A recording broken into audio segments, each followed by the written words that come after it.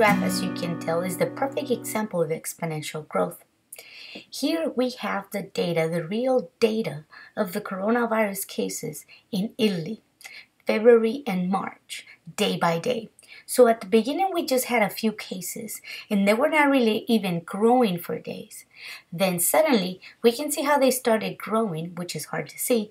And day by day, they started growing even faster and faster and faster until we see at the very end in March 23rd that there was a lot of cases. There's a lot of cases of this virus.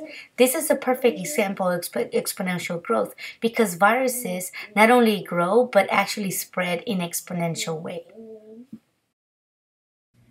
Exponential growth is when our data is not only low numbers, but what we notice is that it's barely moving or not moving at all.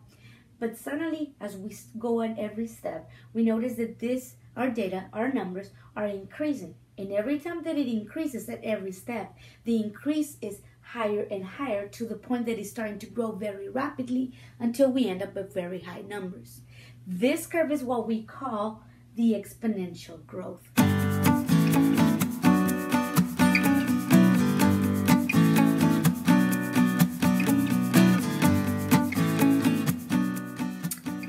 We have a perfect example for exponential decay. This example shows the depreciation or the value of a new car. So we can see at the beginning how a car is valued at a very high price when it's new. But as every single year goes by, the value of that car decreases.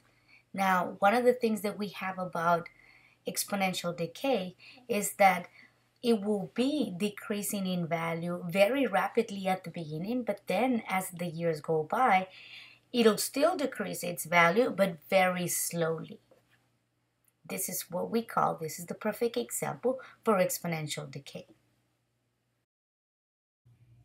Exponential decay is exactly the opposite. What does that mean? We start with a very high amount of very large numbers and every step of the way, it's like we are starting to decrease, but we are decreasing very rapidly. The difference is that every step of the way, it seems like our decrease gets smaller and smaller and smaller until it seems like it's not decreasing at all. And it's almost flat. This is what we call the exponential decay.